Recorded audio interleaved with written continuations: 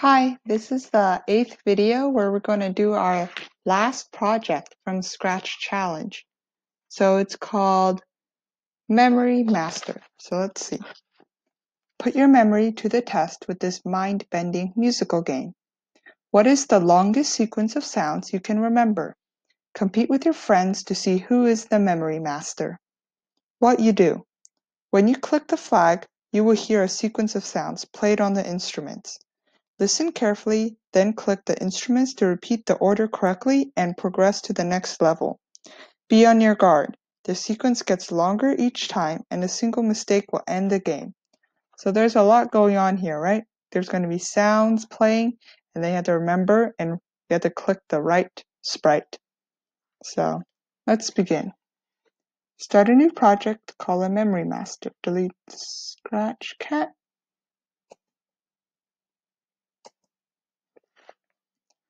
and load a purple backdrop.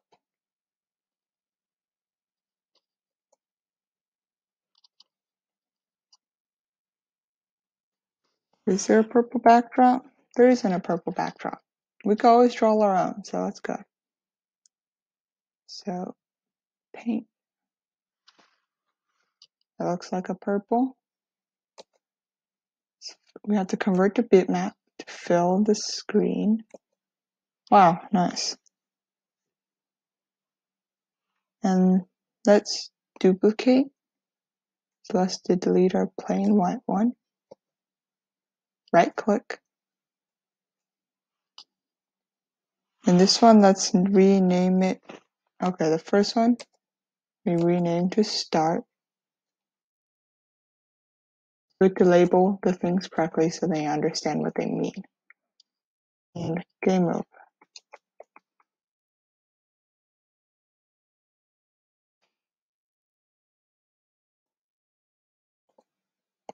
text.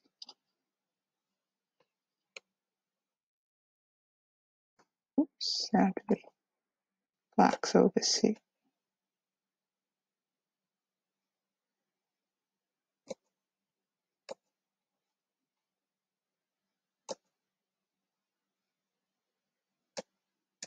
Oh no. Let's delete this one. Let's write it again. Okay.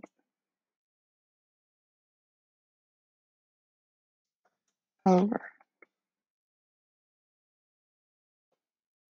Let's make it larger and centered. Let's choose a different font. Marker. I like Pixel. Looks like a video game. Now go to the sprite list. Let's draw some sprites.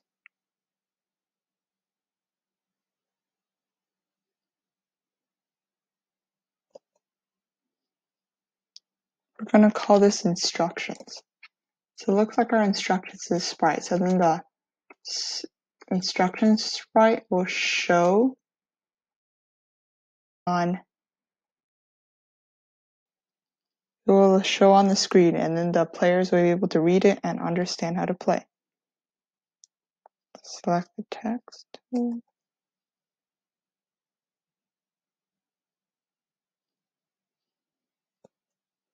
let's type instructions.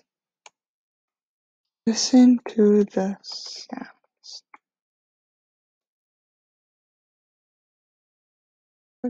sounds.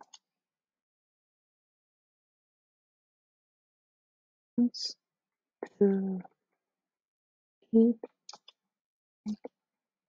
sounds in the correct order.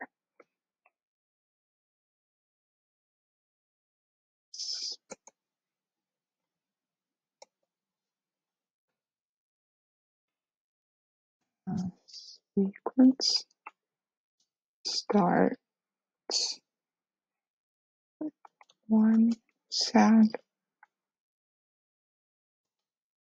but it longer each time. Make a mistake and it's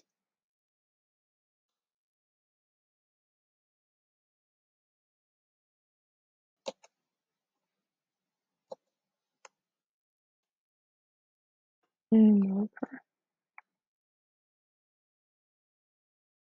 Press the space bar to begin the game. So it looks like in this program, pressing the start like flag won't begin the entire program, right? Because we want to show them instructions first. Center. We want to have them read instructions first before starting the game. So we do the space bar to begin the game this time. So it's really important to like consider your the people playing your game and maybe writing instructions for them be helpful. So let's move it to the center of the stage. Go to the backdrops. Let's make this the default. Go move the sprite. Code.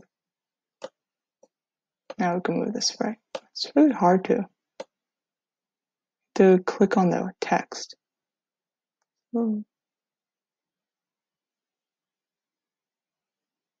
Why is the G cut off? Let's see what's going on. Maybe move it a little higher then. Now the G isn't cut off. Code.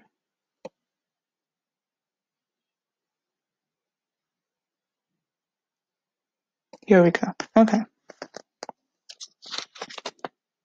So let's give it some scripts. So when the start button is clicked, go to front.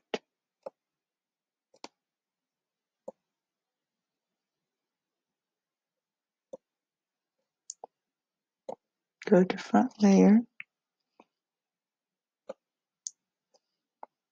show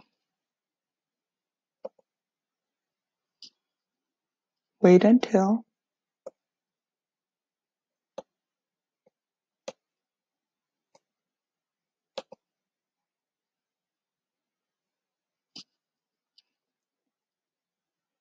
key space is pressed and then we hide. Great. Now we have to make a variables and a list.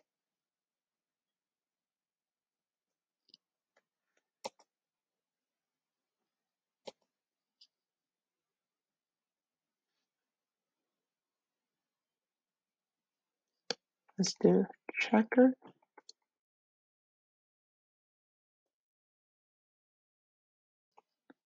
Counter.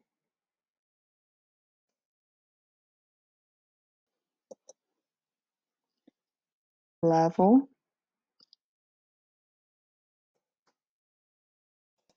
and random. Okay, make sure to leave all of them unchecked so they're hidden, except for level.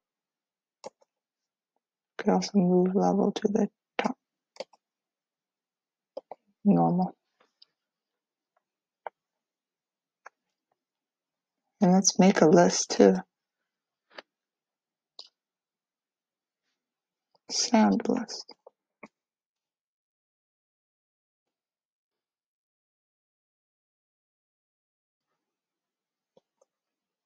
And let's also uncheck it so the players don't see it.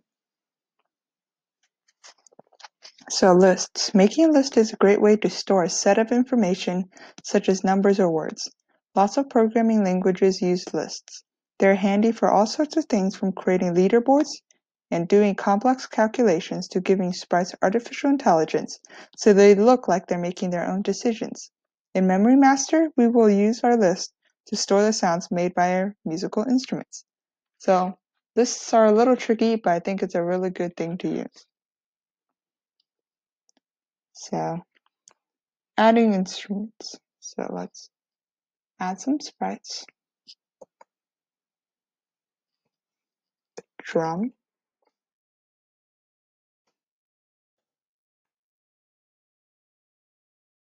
Is there a drum bass? Looks like there's no drum bass. Just do regular drum? Sure.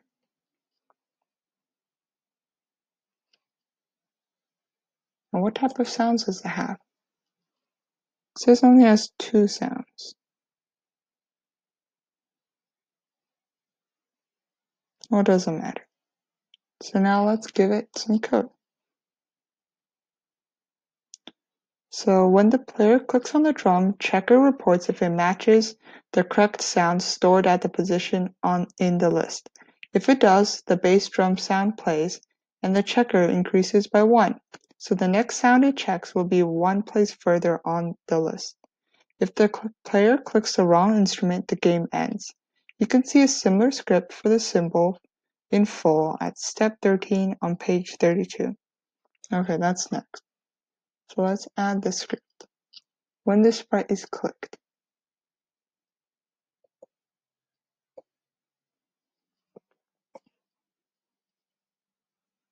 and if then else statement. So if this happens, then we do this. But if this doesn't happen, then we all, then we do this. So operators equal. If the item of sound list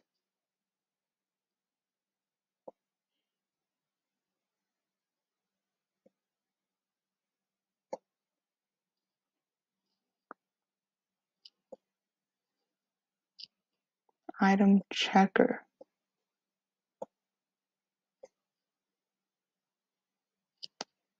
equals bass.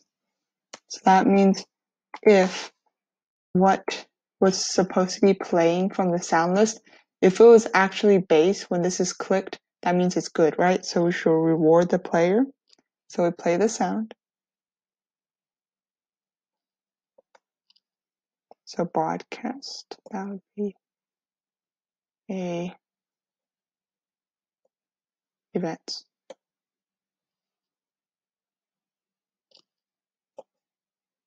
Message.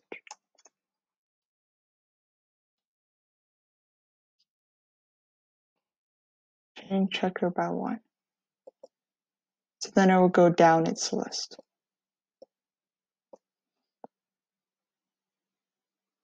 And then if then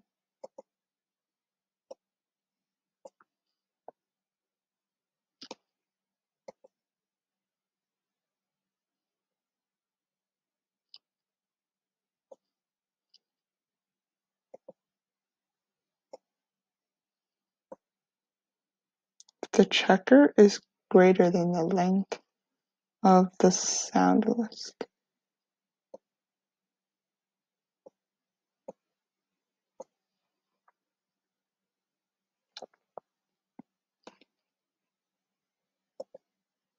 Wait one second.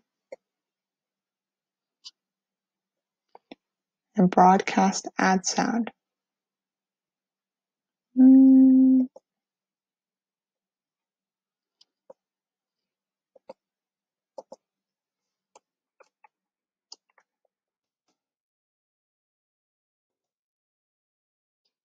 We will make sprites in like code that receives the messages we sent, right? or else they won't do anything. We need a code for what receiving that message does. So switch backdrop.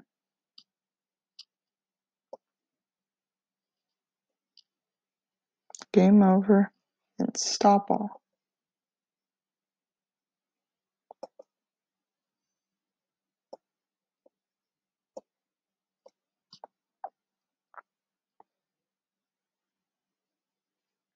Okay.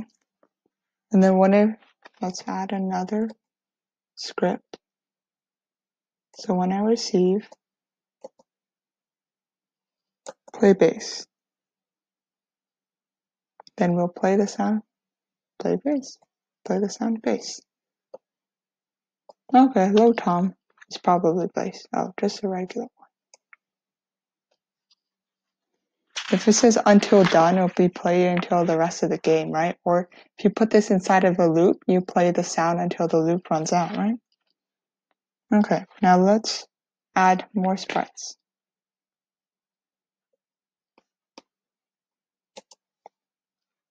Cymbal.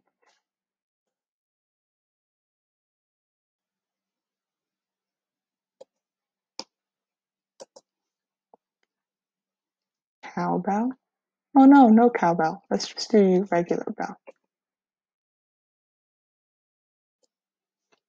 Snare. Do they have snare? Yes, they do. Now let's add the same scripts you built for the drum bass to each of the new sprites. The easiest way is to click, drag, and drop the sprites from one sprite onto another. This will copy the scripts to another sprite.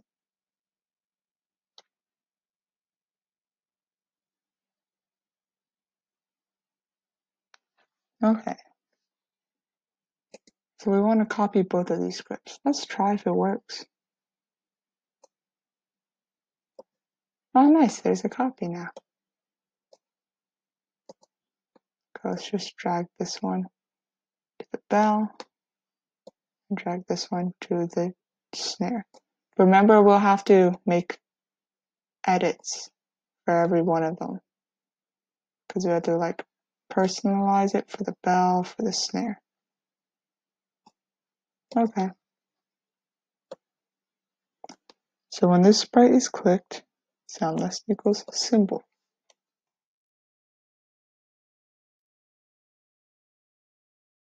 Broadcast play cymbal this time.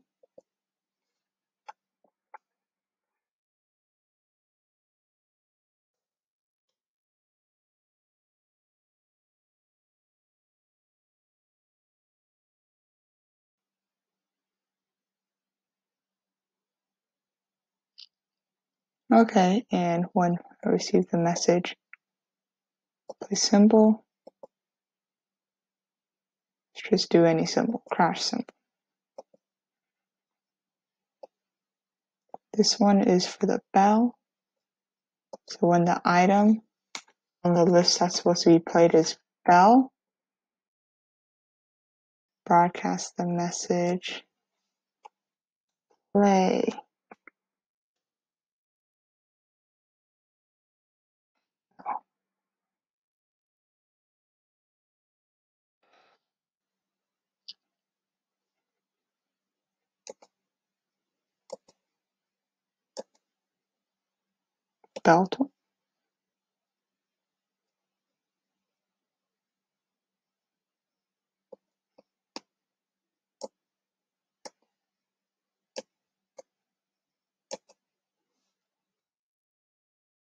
Snare.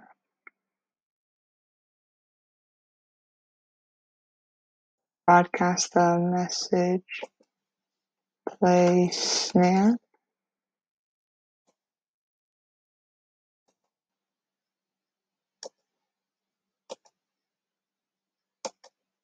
tap snare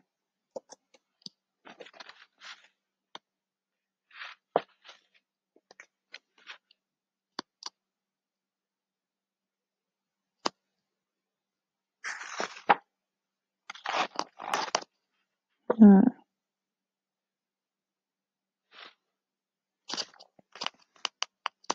Okay. So now scripting the list. On the stages script area, this is the stage.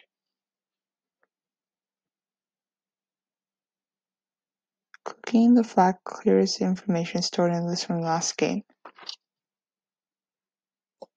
Because we want new scripts for each game. Delete all.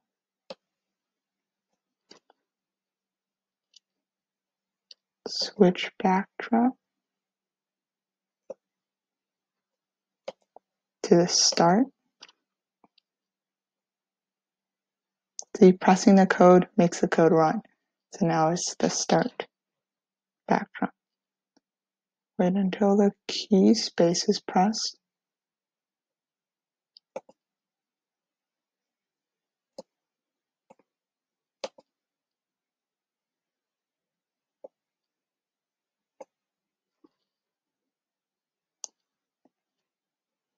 Set level to zero. Broadcast add sound.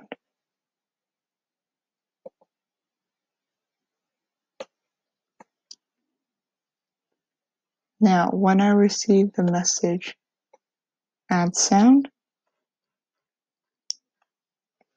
we want, it will number the instrument sounds from 0 to 4. When it receives add sound, it picks a random number from 0 to 4 and adds that sound to the list of sounds to play, be played. Then it broadcasts the message play sound list, which you'll have to create in a broadcast block. So change level by one. Wait one second. Set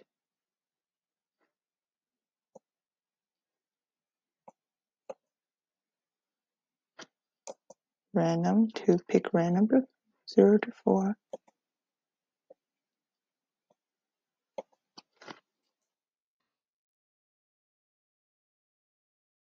If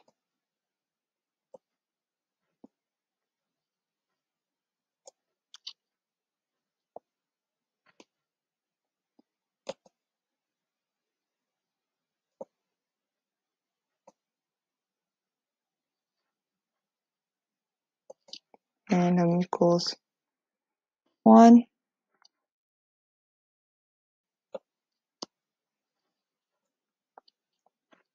we add bass to the sound list.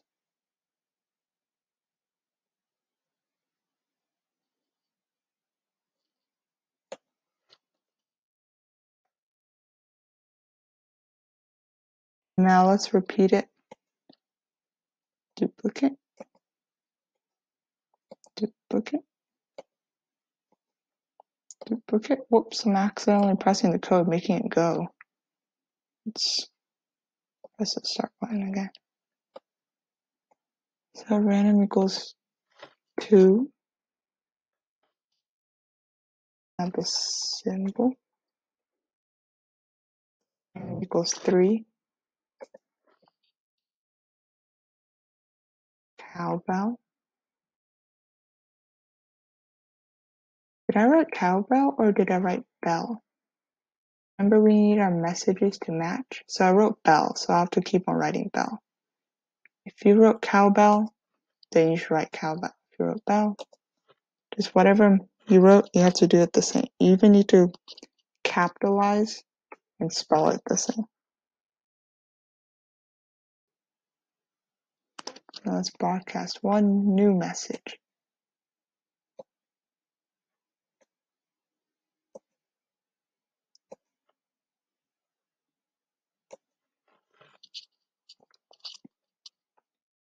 Play sound list. I'm accidentally pressing the code. Whoa, look, we're already level 14. Okay. Let's pause this. Press start. Is set level to zero. Let me just process and make a run. It gets messy right here, right? Sweet, now it's level zero.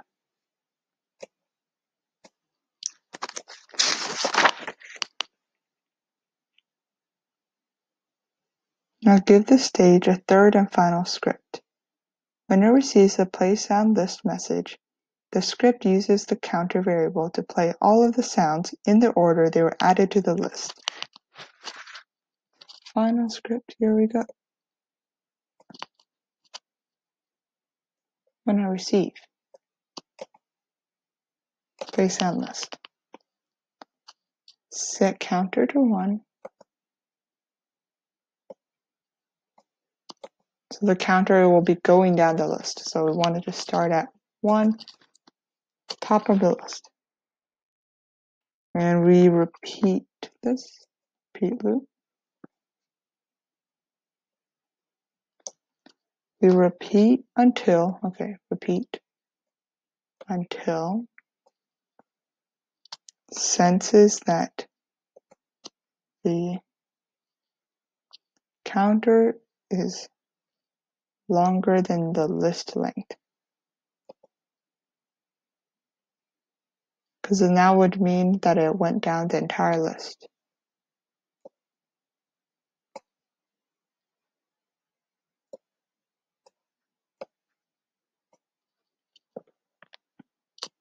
There's a lot of if loops in here, if then loops.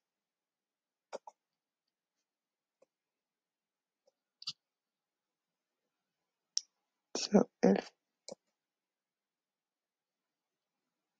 item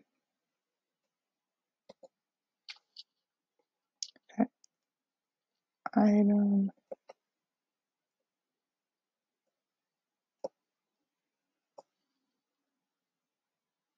counter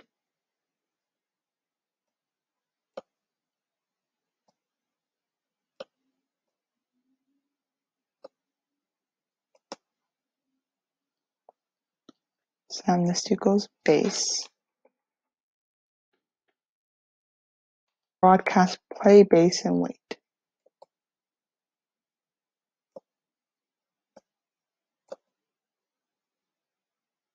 So we want so they want to play bass and then wait until they finish making the sound, waiting waiting until the person makes the decision to like click, right? So let's duplicate this three more times. And we have to like change it up for each instrument.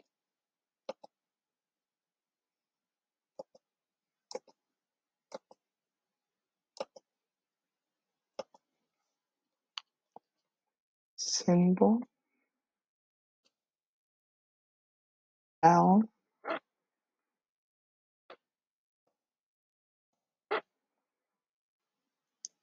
snare.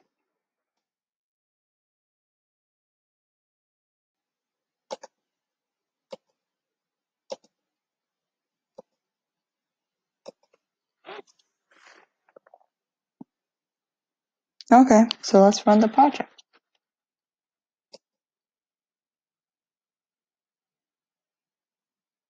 Oh wait, we probably want to move the sprites to the correct location, right? So move it. And I didn't press the space bar to press the game yet, so.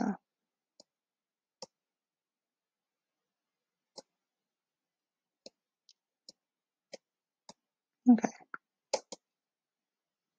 Press the space bar.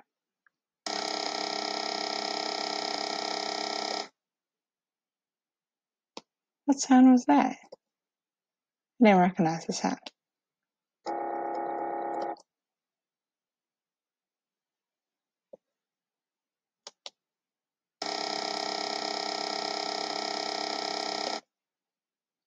Okay, let's check again for code is right because I kept on playing played so many times. Same sound. So start sound, is that right? Should be play sound.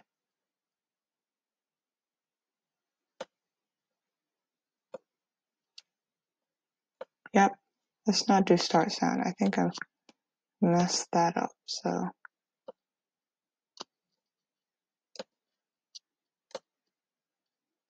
starting a sound would be like if you had like a long, maybe a music song, long song, then we can do that. So let's try again.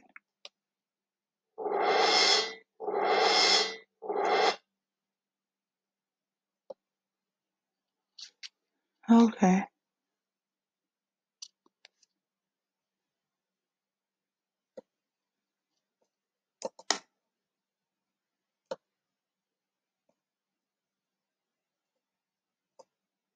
Hmm.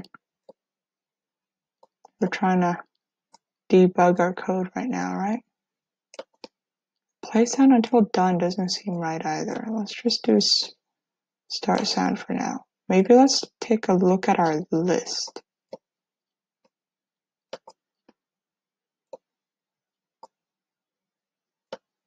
Is there a problem from our instructions? Oh wait, broadcast and wait. See if we did that. Okay, we did do broadcast and wait. Oh, we forgot this code right here. Wait 0.5 seconds. Okay, this might be it. Because we definitely want to wait a bit. So,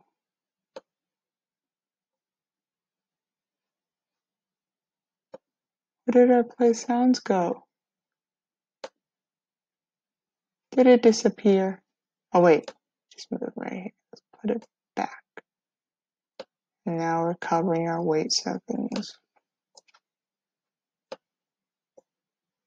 Mm-hmm. 0 0.5. Change counter by 1. Think this will be really important, right? Probably want to go down our list. Oh no. And everybody makes mistakes, including me. Let's try again. Spacebar.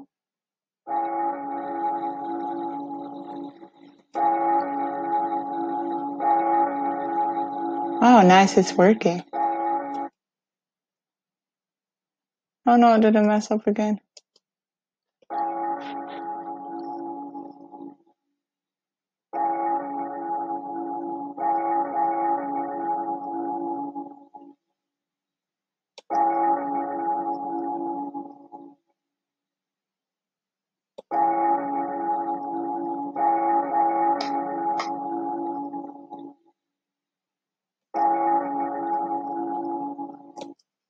Oh no, I couldn't tell the difference between snares and drums. Probably should familiarize yourself by that. Oh, maybe the instructions should have told you, right? Instructions say like, I'm gonna play the sound drum now, and then you play it for the players so they understand what it means. So there's a lot of ways we can improve this game, right? So looks like we're done with our last game from the book. So I have a lot of things to explain. So now we finished the beginner's book and the challenge book. We should we know how to do a lot of things now, right? We know how to make variables and lists. Those are pretty complex and we should use them because they make our games nice and cool. And then remember, we even have ex extensions such as video sensing and text to speech. That was really cool. Imagine translating. That'd be cool. You could teach people languages through like a language game. That'd be fun. So, you know, all of we used all of these except for my blocks. Let me just whoa. If you want, you could do research on how to make uh, my blocks. Scratch has a lot of information. There's a tutorials.